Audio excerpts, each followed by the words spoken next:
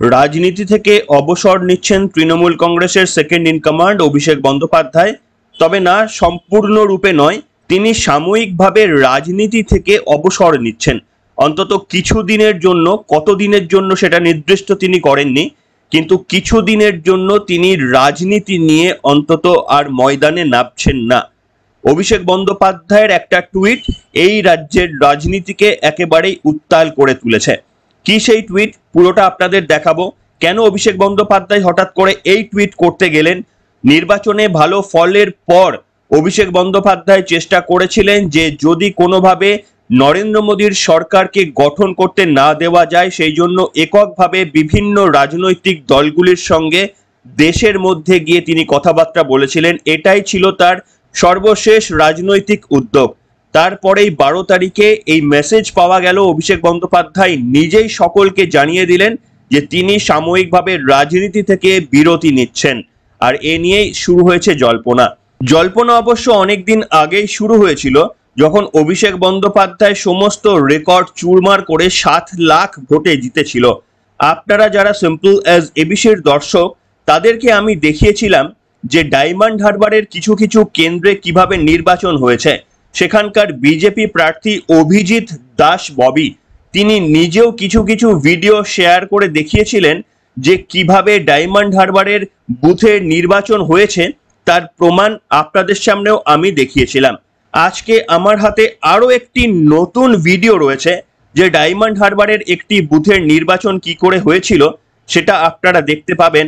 এবং যারা বলছিলেন যে অন্তত পঞ্চায়েত নির্বাচন বা বিধানসভার নির্বাচন থেকে তো লোকসভা নির্বাচন ভালোভাবে হয়েছে, বেশি নিরপেক্ষভাবে হয়েছে, মানুষ ভোট দিতে পেরেছে, এই ভিডিওটা তাদের জন্য আমি ডেডিকেট করলাম।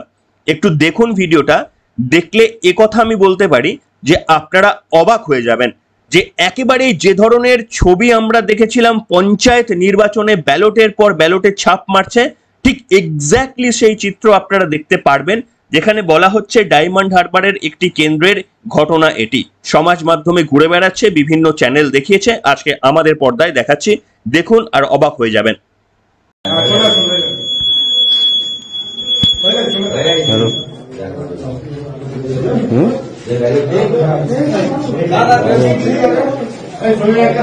হ্যাঁ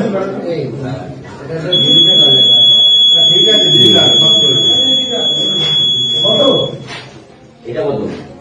হ্যালো পঁচিশ। আচ্ছা ঠিক আছে। পঁচিশ। হুম। হ্যাঁ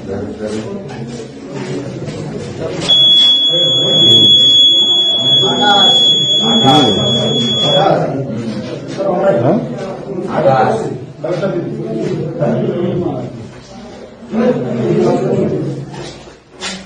আঠাশ সাতচল্লিশ গোবিন্দ গোবিন্দ এইভাবে ক্যান্সেল করে নাইন মেনটেন কত কত? সাতচল্লিশ। সাতচল্লিশ। ওটাই বলছি এরা এত ভোট করে দিচ্ছে না। ওই যে কমন যে কারণ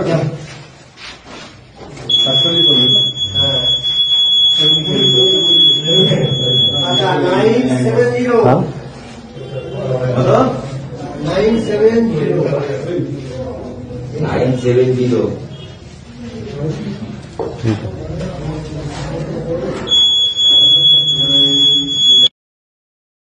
দেখলেন বন্ধুরা, অভিষেক বন্দ্যোপাধ্যায়ের রাজনীতিতে সাময়িক বিরতি প্রসঙ্গে নিশ্চিতভাবে আপনাদের সামনে বিশ্লেষণ করব। তার আগে যে ভিডিওটা আপনাদের সামনে দেখালাম, আশা করি আপনাদের মাথা ঘুরে গেছে। তার কারণ, আমার মতো আপনারা হয়তো অনেকে বিশ্বাস করেছিলেন যে নিশ্চিতভাবে ছোটখাটো জায়গায় কিছু দুর্নীতি হয়েছে, কিছু চুরি হয়েছে তবে বুথের মধ্যে এমন কিছু হয়নি। যা হয়েছে বুথের বাইরে। বুথের বাইরে মানুষকে আসতে দেওয়া হয়নি, সেখানে ভয় দেখানো হয়েছে। এই রকম আমরা অনেকেই এক্সপেক্ট করেছিলাম। এবং আমরা ভাবতে পারিনি যে বুথের মধ্যেও ঠিক যেমন পঞ্চায়েত নির্বাচন আপনাদের মনে রয়েছে, এই কয়েক মাস আগেই পঞ্চায়েত নির্বাচন হয়ে গেল। সেই পঞ্চায়েত নির্বাচনে যে ধরনের গণতন্ত্রের লুঠের ছবি আমরা দেখেছিলাম, তখন আমরা ভেবেছিলাম, ঠিক আছে, এখানে তো কেন্দ্রীয় বাহিনী নেই, লোকসভা নির্বাচনে এসব হবে না। কিন্তু যে ভিডিও আপনাদের দেখালাম এটা অন্তত ডিমান্ড করা হচ্ছে লোকসভা নির্বাচনের সোশ্যাল মিডিয়ায় ছেয়ে গিয়েছে এবং এটা নাকি অভিষেক বন্দ্যোপাধ্যায়ের গড় ডায়মন্ড হারবারের ভিডিও বলে দাবি করা হচ্ছে। হ্যাঁ।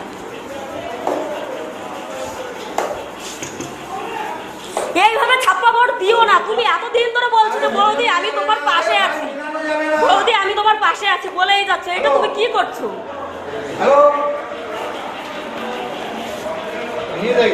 এছাড়া তো কোনো উপায় নেই না। উৎপল ঢালে তো এক নম্বরে চোর উৎপল ঢালি এক নম্বরে চলে এটা জানাই ইয়ে ছিল যে উৎপল ঢালি যখন এখানে আছে এখানে চুরি হবেই হবে। ঠিক আছে? আপনারা এবার বলুন যে কেন ভোটের মার্জিন সাত লক্ষ হবে না? আমার মনে হয় দশ লক্ষ হলেও অবাক হওয়ার কিছু ছিল না। তার কারণ এই কায়দায় যদি ভোট হয়ে থাকে এবং নির্বাচন কমিশন এই কায়দায় ভোট গ্রহণের পরেও যদি একেবারে একটি আসনে পুনর্গণনার জন্য দাবি না করিয়ে থাকতে পারে। তাহলে এই ব্যর্থতা নিশ্চিতভাবে তৃণমূল কংগ্রেস বা রাজ্য প্রশাসনের নয়, এই ব্যর্থতা সমানভাবে নির্বাচন কমিশনের। তার কারণ আপনারা হয়তো জানেন, বিজেপির তরফ থেকে দাবি করা হয়েছিল বিভিন্ন ভিডিওর এভিডেন্স দেখিয়ে যে রিপোলিং এর জন্য। কিন্তু নির্বাচন কমিশন একটিও কেন্দ্রে ডায়মন্ড হারবারের একটিও কেন্দ্রে রিপোলিং দেননি। আর এটাই হচ্ছে অভিষেক বন্দ্যোপাধ্যায়ের গড়। এটাই হচ্ছে ডায়মন্ড হারবারের মডেল। এখানে কেন্দ্রীয় নেতৃত্বের আদেশ বা ফরমানও কিন্তু চলবে না। যাই হোক, এবার ফিরে আসি মূল যে বক্তব্য দিয়ে শুরু করলাম। অভিষেক বন্দ্যোপাধ্যায়ের একটি পোস্ট হঠাৎ করে রাজনীতিতে ঝড় তুলে দিয়েছে। আসুন সেই পোস্ট আপনাদের দেখায় তিনি একটা লম্বা পোস্ট করেছেন। দেখতেই পাচ্ছেন একটা লম্বা পোস্ট তিনি করেছেন এবং সেই পোস্টে কি লেখা রয়েছে আপনাদের সংক্ষিপ্ত আকারে আমি বলার চেষ্টা করছি বাংলাতে। অভিষেক লিখেছেন, চিকিৎসার জন্য আমি সংগঠন থেকে সংক্ষিপ্ত বিরতি নেব। এই সময় সাধারণ মানুষের চাহিদা কি তা আরও ভালোভাবে অনুধাবনের সুযোগ আমার কাছে রয়েছে। আমি বিশ্বাস করি রাজ্য সরকার দ্রুত এবং ভালোভাবে মানুষের সমস্যার সমাধান করবে এবং মানুষ যাতে ন্যায্য বিচার পায় তা নিশ্চিত করবে। তিনি আরও লিখেছেন, এই ছুটি জনগণের সুবিধা, অসুবিধা এবং চাহিদার কথা আরও ভালোভাবে বোঝার জন্য কাজে লাগাবেন তিনি। রাজ্য সরকার বাংলায় সাধারণ মানুষের জন্য তাদের কাজ জারি রাখবে এবং মানুষের চাহিদা পূরণ করবে বলেও আশা ব্যক্ত করেছেন অভিষেক বন্দ্যোপাধ্যায়। এবং একেবারে শুরুতে যেটা তিনি লিখেছেন, সেটা হচ্ছে, গত বছর এই সময় আমি নবজোয়ার যাত্রায় অংশগ্রহণ করার সুযোগ পেয়েছিলাম। পশ্চিমবঙ্গের বিভিন্ন প্রান্তে গিয়ে মানুষ কি সমস্যার এবং চ্যালেঞ্জের মুখোমুখি হয়েছেন তা বোঝার চেষ্টা করেছি। ক্রমবর্ধমান মূল্যবৃদ্ধি এবং একশো দিনের কাজের টাকা কেন্দ্র বন্ধ করে দেওয়ায় তা আমাকে নড়িয়ে দিয়েছিল। শুনলেন, তিনটি প্যারাগ্রাফে তিনি তার বক্তব্য লিখেছেন। তার মধ্যে শেষের প্যারাগ্রাফটি সব থেকে বেশি ইম্পর্টেন্ট যেখানে তিনি বলছেন, তিনি রাজনীতিতে সাময়িকভাবে বিরতি নেবেন এবং সেটা সম্ভবত তার চিকিৎসার কারণে। এই অভিষেক বন্দ্যোপাধ্যায়ের বক্তব্য। আচ্ছা এবার আপনাদের সামনে প্রশ্ন, যদি চিকিৎসার কারণেই অভিষেক বন্দ্যোপাধ্যায়কে এই মেসেজ করতে হয় চিকিৎসার কারণে এর আগে তিনি অনেকবার বিদেশ যাত্রা করেছেন এবং অনেক অনেক লং ট্যুর করেছেন। কখনো তো অভিষেক বন্দ্যোপাধ্যায়কে এই ধরনের বক্তব্য আমরা লিখতে শুনিনি যে আমি রাজনীতি থেকে সাময়িক বিরতি নেব। ধরুন কোনো মানুষ অসুস্থ হয়ে যদি কোনো ট্রিটমেন্টে থাকেন বা তিনি যদি রেস্ট নিতে চান, তাহলে আমি রাজনীতি থেকে অবসর নেব সাময়িকভাবে, এটা বলার প্রয়োজন কি রয়েছে? তার কারণ এর আগে যখন অভিষেক বন্দ্যোপাধ্যায় ইউএসএতে গিয়েছিলেন প্রায় এক মাসের কাছাকাছি তিনি বিদেশে ছিলেন। সেই সময়েও বিভিন্ন রাজনৈতিক জল্পনা সৃষ্টি হয়েছিল আপনাদের মনে রয়েছে। বিজেপির কেউ কেউ আবার বলছিলেন, অভিষেক বন্দ্যোপাধ্যায় বিদেশ থেকে আবার ফিরবেন কিনা দেখুন, এই মন্তব্য আপনাদের মনে রয়েছে। কিন্তু তখন তো অভিষেক বন্দ্যোপাধ্যায়কে এই পোস্ট করতে হয়নি। এবং দেখুন, যে কোনো রাজনৈতিক ব্যক্তিত্ব, এই ভারতবর্ষের এত এত রাজনৈতিক ব্যক্তিত্বরা রয়েছেন, তাদের কি শরীর খারাপ হচ্ছে না? তাদেরও তো শরীর খারাপ হচ্ছে। কিন্তু তারা কি ট্রিটমেন্ট করার আগে এই ধরনের পোস্ট করেন? যে আমি রাজনীতি থেকে বিরতি নিচ্ছি সাময়িকভাবে, নিশ্চিতভাবে এর পিছনে অভিষেক বন্দ্যোপাধ্যায়ের শরীর খারাপের বাদ দিয়েও অন্য কোনো ডেফিনেটলি কিছু তিনি ইঙ্গিত করতে চেয়েছেন। একটা হতে পারে যে এটা তিনি অভিমানী পোস্ট করেছেন, তার এটা প্রতিক্রিয়া হতে পারে তৃণমূল কংগ্রেসকেই তিনি হয়তো এই মেসেজটা দিতে চেয়েছেন এবং তৃণমূল কংগ্রেসকে আর কাকে মেসেজ দেবেন তিনি? একমাত্র মমতা বন্দ্যোপাধ্যায় বা সুপ্রিমোই রয়েছে তার উপরে। বাদবাকি সকলেই তৃণমূল কংগ্রেসের যত বর্ষিয়ান নেতাই হোক না কেন, তার নিচে রয়েছেন। তাহলে নিশ্চিতভাবে তিনি যদি কাউকে মেসেজ দিতে যান, তাহলে সেটা মমতা বন্দ্যোপাধ্যায়? তাহলে কি তিনি রাজনীতি থেকে সাময়িকভাবে অবসর নেব, এই মেসেজটা মমতা বন্দ্যোপাধ্যায়কে আলটিমেটলি জানাতে চাইলেন? তার কারণ অনেক জায়গায় কানা ঘুষো শোনা যাচ্ছে যে এই উপনির্বাচন হবে। উপনির্বাচনগুলির মধ্যে যে যে প্রার্থী নাকি বাছাই হয়েছে, সেটা অভিষেক বন্দ্যোপাধ্যায়ের মনোপুত হয়নি। এবং সেই কারণেই নাকি একটা দ্বন্দ্ব তৈরি হয়েছে। তবে সেটাই এক্স্যাক্ট কারণ কিনা জানা যায়নি যে অভিষেক বন্দ্যোপাধ্যায়ের এই মেসেজের পেছনে। কিন্তু সেটা একটা সম্ভাবনা। দ্বিতীয় সম্ভাবনার কথা যদি বলা হয়, তাহলে আপনারা জানেন যে অভিষেক বন্দ্যোপাধ্যায় কিন্তু রক্ষা কবচ নিয়ে রাজনীতির প্রচার করেছিলেন লোকসভা নির্বাচনে। তার বিরুদ্ধে কড়া কোনো পদক্ষেপ নিতে পারবে না। এমনটাই কিন্তু সুপ্রিম কোর্ট থেকে একেবারে রক্ষা কবচ দেওয়া ছিল অভিষেক বন্দ্যোপাধ্যায়কে এই লোকসভা নির্বাচনের ভোটের প্রচারকে কেন্দ্র করে। কিন্তু লোকসভা নির্বাচনের ভোটের ফল পেরিয়ে গিয়েছে এবং সম্ভবত এই মাসের মধ্যেই তার রক্ষা কবচের মেয়াদও শেষ হচ্ছে। অনেকেই বলছেন যে কেন্দ্রীয় তদন্তকারী সংস্থাগুলি আরও একবার সক্রিয় হবে। সেই কারণেই কি অভিষেক বন্দ্যোপাধ্যায় একটা রাস্তা করে রাখলেন যে যে কোনো মুহূর্তে তিনি বিদেশে চলে যেতে পারেন। এমনকি তার কাছে নোটিশ আসার পরেও তিনি বিদেশ যাত্রা করতে পারেন। এমন কি কোনো সম্ভাবনা তৈরি করার জন্যই কি অভিষেক বন্দ্যোপাধ্যায় এমন কাজটা করে রাখলেন? অনেকে এই ধরনের সম্ভাবনার কথাও বলছেন।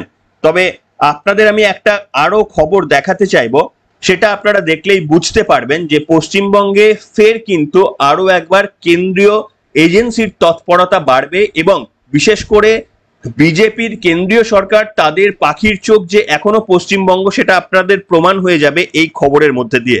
দেখুন, আবারও কেন্দ্রীয় দল বাংলায় শাহের মন্ত্রকের প্রতিনিধিরা মেলাবেন জঙ্গলমহলের নিরাপত্তার বরাদ্দের হিসেব। ছোট করে বলি কি হয়েছে? যে জঙ্গলমহলের নিরাপত্তার জন্য একটা দীর্ঘদিন ধরে ফান্ড দেওয়া হতো। মনমোহন সিং এর আমলে এবং সিপিএম সেই ফান্ড পেত। জঙ্গলমহলের শান্তি শৃঙ্খলা বজায় রাখার জন্য সেখানে যে পুলিশ নিয়োগ করা হয়েছিল, প্রশাসন নিয়োগ করা হয়েছিল, তাদের ফান্ড যোগানোর জন্য কেন্দ্রীয় বরাদ্দ আসতো। এবং জঙ্গলমহলের পরিস্থিতি কিছুটা উন্নতি হওয়ার পর তৃণমূল কংগ্রেসও কিন্তু ক্রমাগত সেই ফান্ড নরেন্দ্র মোদীর সরকারের কাছ থেকে পেয়ে আসে। কিন্তু প্রশ্ন হচ্ছে ইউটিলাইজেশন সার্টিফিকেট নিয়ে।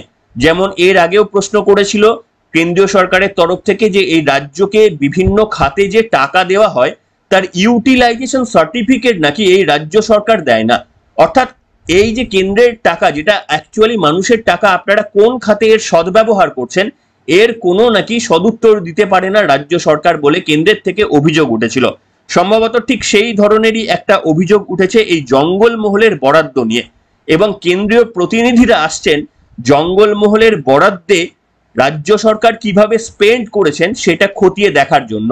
অর্থাৎ আপনারা বুঝতেই পারছেন যে ভোট মিটতেই আরও একবার বলার অপেক্ষা রাখে না। কিছুদিনের মধ্যেই দেখবেন সক্রিয় হবে কেন্দ্রীয় বাহিনী কিংবা সক্রিয় হবে কেন্দ্রীয় সরকার পশ্চিমবঙ্গের রাজনীতি নিয়ে, পশ্চিমবঙ্গের দুর্নীতি নিয়ে একথা বলার অপেক্ষা রাখে না।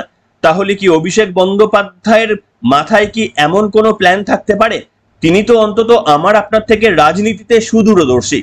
তিনি তো হয়তো বুঝতে পারতে পারেন যে কি হতে পারে। তার কারণ শত চেষ্টা করেও কিন্তু মোদি গভর্নমেন্টকে ক্ষমতাচ্যুত করা গেল না।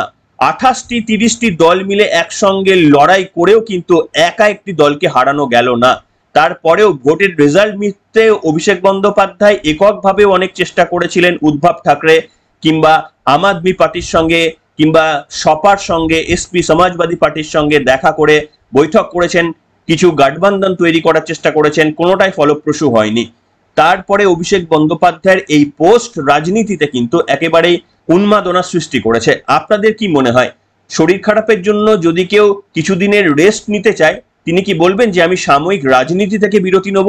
হ্যাঁ যদি না, মারাত্মক কোনো শরীর খারাপ হয়। আমরা জানি অভিষেক বন্দ্যোপাধ্যায়ের চোখের ট্রিটমেন্টের জন্য তাকে বারবার ব্যতিব্যস্ত হতে হয়। কিন্তু মারাত্মক কোনো অসুখ না হলে, ভগবানের কৃপায় তিনি সুস্থ থাকুন। মারাত্মক কোনো অসুখ না হলে কিন্তু সাময়িকভাবে রাজনীতি থেকে বিরতি নেব, এইটা বলার হয়তো তেমন প্রয়োজন বোধ হয় না। তাই অভিষেক বন্দ্যোপাধ্যায়ের এই মন্তব্য নিয়ে জল্পনা ছড়াচ্ছে। তিনি কি কাউকে মেসেজ দিতে চাইলেন? নাকি সত্যি কোনো বড়সড় রোগ তার হয়েছে? আমরা বিশ্বাস করি না, আমরা বিশ্বাস করি তিনি যুব নেতা, তিনি সুস্থ থাকুক, একেবারে দীর্ঘ জীবন তিনি লাভ করুন ভগবানের আশীর্বাদে, সেটাই আমি চাই। কিন্তু তার এই পোস্ট নিয়ে এই মুহূর্তে উত্তাল হয়েছে রাজনীতি। আপনারা কি মনে করছেন সেটা লিখে জানাবেন এবং ডায়মন্ড হারবারের মডেল যেটা আপনাদের দেখালাম, যারা মনে করছিলেন যে লোকসভা নির্বাচনে অন্তত ওই পঞ্চায়েত ভোটের মতো চুরি হয়নি, তাদের সেই ভুলটা অন্তত ভাঙবে আজকের ওই ভিডিওটা দেখে। কি বলবেন বন্ধুরা? আপনারা সামগ্রিক বিষয়ে আপনাদের মতামত লিখে জানাতে পারেন। আজকের মতো এখানেই শেষ করলাম।